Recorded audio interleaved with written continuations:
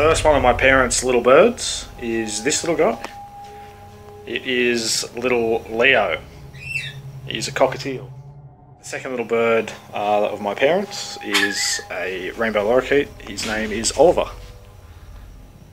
And there he is. And here I am with my good little mate, Puffin.